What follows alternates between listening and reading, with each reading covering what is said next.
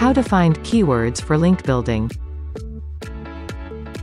It might be difficult to come up with a list of relevant keywords for your link building strategy.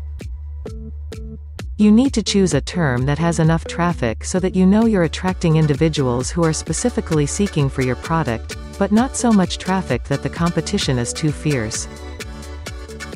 To assist you narrow down where to begin your keyword search and how to find the ideal one for link building, there are a number of free tools available. You need to know what keywords you want to target before starting a link building strategy. In the end, the results of your campaign will be primarily determined by how highly your sites rank for these keywords. If you're looking for keywords to target in your link building efforts, there are a plethora of resources available. Some of the most popular and successful keyword research tools may be found here.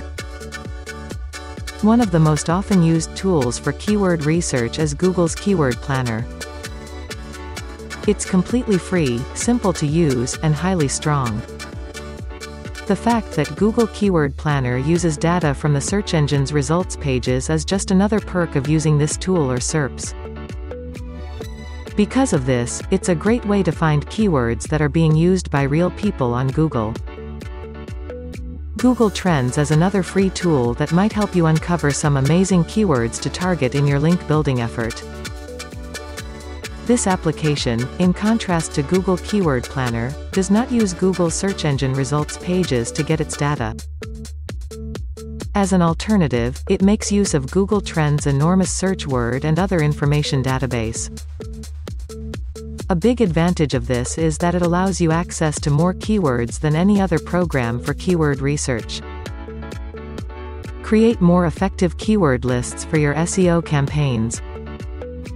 Visit linkdaddy.shop now to learn more about the latest link building strategies you can try today.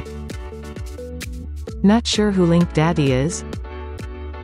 Submit one URL and one keyword, and get a free backlinks campaign for your website valued at $35 to try out our service.